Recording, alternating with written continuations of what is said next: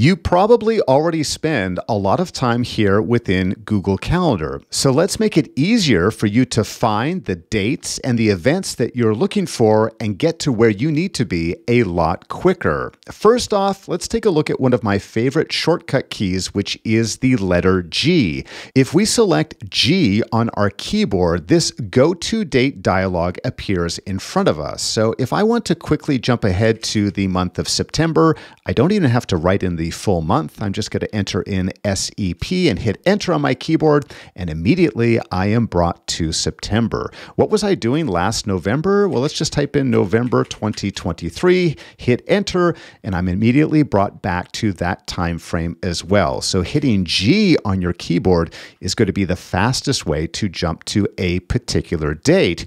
But rather than type in today's date, what if we are somewhere in the past or somewhere in the future?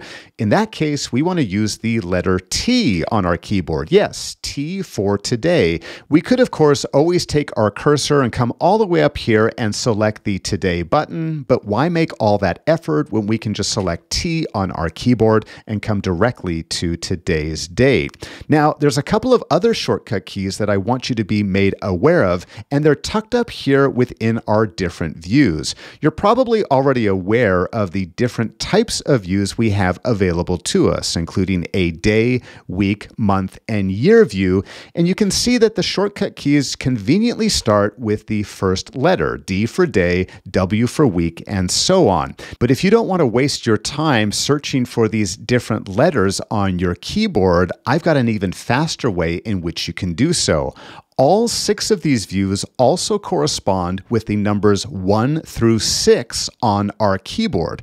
Let me show you how. If I type in the number 1, that's going to be our day view. Number 2 is our week view. 3 is our month view. 4 is going to be our custom view. This is the custom view we set up in settings. More on that in just a moment. 5 is going to be our schedule view, a view that I often don't use enough, but I do find very helpful helpful. And then six is going to bring us our yearly or our annual view. So this is a much faster way as I cycle through my different views. I can use my keypad, I can use the numbers on my keyboard to quickly go through these particular views. Now, if you want to set up your custom view, here you can see that mine is set for two weeks.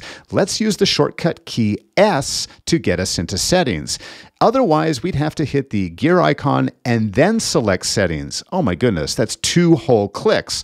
Let's just hit S on our keyboard, go directly to settings, and then come down to view options. And here you can see under our drop down menus, we can set a custom view. Now, we've got a number of different choices available, anything from between two days all the way out to four weeks. Yes, I bet you didn't realize that you could even have a custom view of two or three weeks in advance, or maybe you just want something like three days. I'm going to set it to three days, and there's no need to hit save. There's no save button actually here within Google Calendar settings. Everything is automatically saved. So if I come back here and if I select my custom view of three days, I'm going to get those three days on the screen in front of me.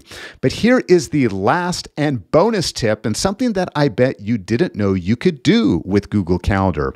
If we come over here to the mini calendar, which of course you're probably familiar with going to a specific date into the future or selecting a specific date on a calendar.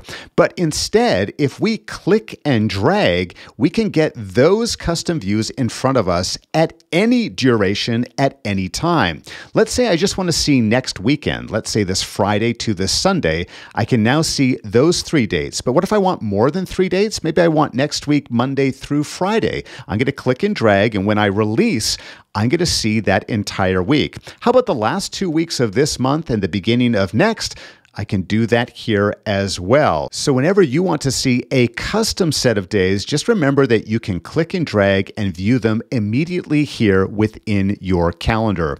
I hope you enjoyed these Google Calendar tips and tricks and would love to hear from you next. What are some things that help you be more efficient as you navigate and use Google Calendar?